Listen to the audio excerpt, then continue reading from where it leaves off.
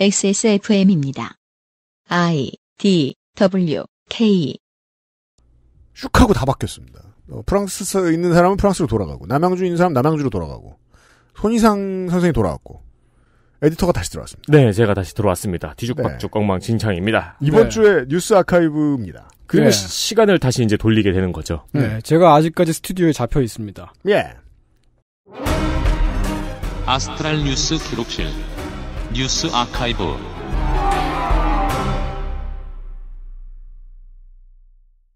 어, 첫 번째 뉴스 아카이브는 소소한 해외 소식입니다. 음. 14년 전, 네. 2007년 8월 7일, 태국의 경찰 범죄 예방부에서는 복무 규정을 위반한 경찰관에게 핑크색 헬로키티 완장을 채우기로 결정했습니다. 좋은 거 아니에요? 갖고 싶은데. 이게 뭐야? 14년 전 이야기입니다. 네. 그러니까 심각한 범죄를 저지른 경찰 말고 뭐 근무 태만, 주차 위반, 음. 민원인과의 싸움 뭐 이런 문제를 일으킨 경찰들에게 어, 첫 번째 경고의 의미로 헬로키티 완장을 채운다고 발표를 한 거예요. 당시에는 재미있는 아이디어처럼 전 세계에 보도가 되었어요. 음. 근데 지난주에 우리가 돌아보면은 꽤 많이 왔다는 내용을 말씀을 드린 적이 있죠. 아 맞습니다. 네. 지금 생각해 보면은 경찰을 남성적인 이미지에 가두고 음. 헬로키티를 여성적인 이미지로 만들어서 음. 여성적인 이미지로 수치를 주겠다는 음. 차별, 혐오적인 시선이 담겨 있는 방법이죠. 그러네요. 네, 이게 이제 지금 와서 돌아보면은 보이는 거죠. 음. 그때는 안 보였지만. 네. 아, 근데 제가 봤을 때 이거 선물이 아닌가 싶기도 합니다. 어, 그럴 그걸- 수도 있어요. 이걸 갖고 싶어서 일부러 근무 태만을 저지르고 그럴지도 모릅니다. 파는 건 아니거든요. 안 팔잖아요. 네. 레어템이고. 물론 이 아이디어는 실행되지 않았습니다. 음. 어, 저희가 지금 얘기한 이 차별 혐오의 문제 때문은 아니었고요. 음. 그 전에 앞서서 더 큰 문제가 있죠. 네. 전 세계의 헬로키티 매니아들이 반발을 했죠. 아, 이건 못 참죠. 네. 어, 팔아라. 근데 아마 이 굿즈는 굉장히 인기가 있을 수 있어요. 네. 네. 참고로 헬로키티 아이템 최다 보유 기네스 기록자는 음. 일본의 은퇴한 경찰관입니다. 헬로키티가- 말한 대로입니다. 귀여워요. 갖고 싶고요. 네. 아닐 리가요. 음. 그 제가 아는 사람 중에 헬로키티 아이템 제일 많은 사람이 근육량이 제일 많은 사람이에요. 음. 네. 아, 저, 저랑 가까운 친구 중에도 헬로, 테스토스테론 분비량이 가장 많은 사람. 어, 가까운 친구 중에도 헬로키티 굿즈를 수집하는 친구가 있습니다. 네. 어, 과격한 펑크 밴드를 하고 있습니다. 헬로키티를 모으는가와 성정과 취향 같은 것을 구분하기는 매우 어렵다는 걸 음. 우린 경험을 통해 알고 있어요. 네. 뭐 5만 놈들이 다 모으니까. 네. 그렇죠. 네. 태국은 왜 이런 바보 같은 생각을 했는가. 음. 아, 다음 보죠. 그리고 헬로키티 매니아를 너무 우습게 봤죠. 네. 작년 8월 첫째 주를 돌아보겠습니다. 여느 때와 같이 숨가쁜 때였습니다. 작년이네요. 네. 언론과 야당은 어떻게든 윤석열 검찰총장과 정부와 여당을 싸움 붙이려고 수백 건의 기사를 쓰고 있었고요. 음. 여당하고 윤 총장도 슬슬 말려 들어가고 있을 때였습니다. 여당도 말려 들어가지만 윤 총장이 더 적극적으로 말려 들어갔죠. 네. 왜냐하면 자기 이름이 높아지는 느낌이 팍팍 드니까요. 이게 사람은 이런 유혹에 이겨내는 사람이 흔치 않습니다. 그리고 이걸 이겨내려면 뭔가 관조적인 시선을 가지고 있어야 되는데 평생 바쁘게 살았던 고위공직자는 그런 능력이 없어요. 어, 그렇죠. 네. 네, 뭐 유엔 사무총장이라든가. 이게 뭐 지금 와서 누가 시작했고 어떻게 시작하는가를 돌아보는 게 의미는 없을 정도의 먼 길을 왔는데 네. 작년을 돌이켜 보면은 언론에서 제발 싸우라고 절실하게 원하고 원망했던 부분이 컸죠. 네. 아무튼 이럴 때였어요. 음. 네. 근데 이제 윤 총장 얘기는 아니고 음. 또 뜨거웠던 소식이 있었는데 네. 청와대의 노영민 비서실장과 비서관 5명이 8월 7일 일괄 사의를 표명했고 네. 그 5명 중 3명이 2주택자였다는 것이 밝혀지면서 음. 이 이야기가 두 번째로 언론 보도가 많았습니다. 네. 올해 드디어 6주택자가 나와서 그 기록을 모두 깨기 전까지 네. 6주택은 아니고 건물이 6개, 그 부동산 6개죠. 네. 어, 그래서 이 비서관들이 집을 내놨어요. 음. 근데 이젠 또 뭐 시세보다 비싸게 내놨다 이러면서 음, 신나게 깠었죠. 네. 이때 MBC 스트레이트가 단독 보도를 냅니다. 2014년 재건축과 관련한 부동산 3법에 찬성했던 의원들 중에서 강남 3구에 아파트를 보유하고 있던 의원이 41명, 재건축 대상 아파트를 보유하고 있던 의원이 21명 있었다는 보도였습니다. 네. 자기 걸 팔기 위해서 법을 만든 거군요. 그 직접적인 이해 충돌이 문제가 되었던 거죠. 음. 아니라고 말할 방법이 없습니다. 그 중에서 당시 미래통합당의 원내대표였던 주호영 의원은 재건축 3법 통과 직전에 은마 아파트를 팔고 음. 반포주공 아파트를 샀어요. 음. 그래서 23억이 넘는 시세 차익을 봤어요. 네. 반포에 아파트 두 채를 갖고 있었던 이현승 의원은 26억의 시사 차익을 얻었고요. 음. 어, 왕, 네, 왕. 집 네 채를 갖고 있던 박덕흠 의원은 음. 무려 73억의 시세 차익을 얻었습니다. 네. 네. 그 당시에 박덕흠 의원은 나는 살기 위한 집을 갖고 있다. 네. 근데 집값이 올랐으니까 오히려 나는 손해다. 음. 난 이거 안 팔 거고 살 건데 네.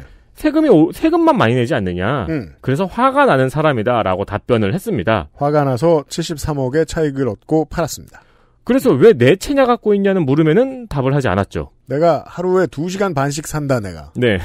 일하러 나간 시간에. 잠을 네 번씩 옮겨서 자야 된다. 음. 어, 그러면서 이제 정부의 부동산 정책 때문에 뭐 나도 이 집값이 올라가지고 나도 곤란하다 이러면서 비판을 했는데, 네. 어, 팍덕크면은 그로부터 한 달 뒤에 음. 가족 회사가 피감기관의 공사를 잔뜩 수주한 사실이 밝혀져서 네. 탈당하고 아직까지 조용히 지내고 있습니다. 그렇죠. 이게 지금 느낌이 뭐 마- 뉴스 많이 보는 분들이면 살짝 오셔야 됩니다. 수사 결과가 나오지도 않고 언론이 말해주지도 않아요. 네. 음. 이게 수사가 지금 진행 중인데 네. 엄청 지지부진합니다. 수백억을 헤쳐 먹었을 것이라는 의혹이 있는데도 불구하고 그- 그때 추정 금액은 최대 2천억쯤이었죠. 그랬습니다. 뭐 일부 언론인들이 그렇게 얘기해요. 검찰 까지 마라. 이게 지금 뭐 당시에 그 여당 관련된 수사 얘기하면서 이게 검찰 발인이 여당 야당 발인이 말이 많았는데 검찰에서 받아온 기사라는 증거가 어디 얼마나 있느냐 이렇게 음. 얘기하는데 어 경찰이든 검찰이든 지금 박덕흠 의원에 대해서 흘리는 것 같지 않거든요. 그 어제 제가 그래서 박덕화면을 검색을 해봤거든요. 뉴스 기사 탭을. 음. 아주 흥미로워요. 뭐요? 우리가 데이터 센트럴 할 때, 음. 어, 후보 중에 이제 검색을 해보면은 보도자료 기사만 소소하게 나와 있는 거 있잖아요. 그렇게 변했죠. 네, 어디 가서 뭐 출판 기념회 했다, 이런 음. 거. 그런 기사하고 수사 시작했다. 네. 음. 감춰주는 형국이에요, 거의. 네. 네. 네. 네, 언급을 안 하고 있습니다. 박덕흠 의원한테 만감부 부탁드리고요. 네. 음. 자, 또 문제는 두번 당시, 부탁했어요. 네. 네. 당시에 스트레이트가 이거를 보도를 했어요. 음. 앞서 말한 윤석열의 말 한마디나 청와대 비서관에 비해서 다른 매체의 보도가 현저하게 적은 겁니다. 네. 스트레이트의 보도가 7월 26일이었어요. 음. 근데 일주일 동안 이 사태의 무게에 비하면 거의 아무런 보도가 없는 수준이었어요. 그렇습니다. 어, 찾아보면은 이제 그 MBC는 자사의 보도니까 네. MBC의 보도나 미디어 오늘의 보도만 보이고 음. 나머지의 보도는 안 보이는 거예요. 네. 그러니까 너무 기사가 없다고 사람들이 이제 화를 내니까 그때부터 슬금슬금 8월 첫째 주부터 슬금슬금 보도를 내기 시작합니다. 네. 근데 사실 이때 보도도 제가 어제 좀 많이 봤는데, 음. 그러니까 이 논란 자체를 스트레이트하게 이제 쓰는 보도보다는 이 논란에 대한 의원의 답변을 보도하는 형식이에요. 그렇습니다. 그럼 네. 그 언론에서 그 전에 있었던 원인을 보도했는가? 음. 안 했어요. 네. 의원의 답변만 보도를 하더라고요. 음. 어, 그런 걸 살펴보다가 제가 발견한 흥미로운 거는 네. 8월 7일 YTN에서 시청자 브리핑 시시콜콜이라는 코너입니다. 이게 결론이에요? 네. YTN 시청자들의 의견을 전하는 프로그램이에요. 좋아요. 시청자 게시판에 어 이제 위 스트레이트의 단독 보도 내용을 왜 보도하지 않느냐라는 지적이 있었다는 거죠. 음. 그래서 이제 이거는 이제 그걸 그 전하는 보도니까 시청자 브리핑 시시콜콜이니까 답변을 해야죠. 네, 그 내용을 전하는 겁니다. 음. 어, 답변이 독특합니다. 네. 경쟁자인 타사의 단독 보도 내용을 받는 것은 좀처럼 내키지 않는 일입니다. 하루에 천 번은 하는 일인데. 너무 많이 나 싫다는 거예요? 너무 이게- 너무 많이 해서 싫다. 음. 갑자기 우라카이를. 안 하기로 했다. 네. 그러니까 이게 우리가 지금까지 아는 한국 언론 생태계에서는 음, 말하기가 굉장히 어려운 말이 아닌가. 이게 제가 요즘 그 이세계 난인물에 빠졌잖아요. 트럭에 치이면 이 세계에 가죠. 그렇죠. 트럭에 치이고 났더니 아무도 베끼지 않은 언론 생태계. 그쪽 세계로 잠깐 전송이 된 것 같은 느낌이죠. 음.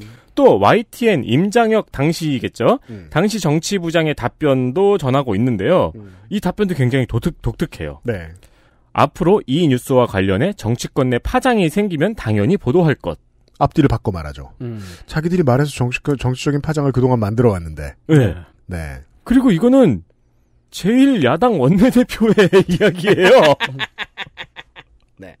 오, 굉장히 신기한 발언이죠. 그렇죠. 그러니까 정치권 내 파장이 생기지 않는다는 거를 확신하는 것 같은 네. 느낌입니다. 손희상 선생이 아직 안 가기도 했고 잡혀 있기도 하고 네. 우리가 저 주중에 얘기했던 것 중에 또 하나 중요한 코드 중에 하나가 많이 말하면 정말 큰 문제처럼 여겨지는 측면이 있습니다. 음, 네. 여론이라는 게 그렇습니다. 어, 우리는 저 목요일이랑 금요일에 되게 중요한 얘기를 했는데 때로는 중요하지 않은 이슈도 많이 말하면 중요한 이슈처럼 느껴집니다. 음. 중요한 이슈도 많이 말하지 않으면 잊혀집니다. 헬마우스랑 했던 이야기죠. 네. 그걸 어느 시점이 되면 지금 이렇게 취재하고 있고 이렇게 편집 잡아주고 있는 언론인들도 인정하는 날이 올 거라고 저는 생각하는데 너무 긍정적으로만 세상을 보는 건 아닌가 걱정스럽기도 합니다. 어, 게다가 요즘은 똑같이 맞아 들어가는 대꾸가 있잖아요. 야당들 부동산 전수조사 결과 왜 안 나옵니까? 그렇죠. 지난주에 지금 권익위가 그 조사 기간을 연장했다는 얘기까지 들었어요. 네. 이거 하나는 확실하잖아요. 그 전에 조사 대상에 비해서 협조가 안 되나 보다. 이렇게까지 늦어지는 걸 보면 음. 오래 걸립니다. 그리고 이걸 내놓을 때 얼마나 많은 언론들이 이것을 퍼뜨려 주는가 지켜볼 법합니다. 네. 정말로 청백리를 원해서 저 정치인을 저렇게 괴롭히나? 라는 질문이 안 나올 수가 없잖아요.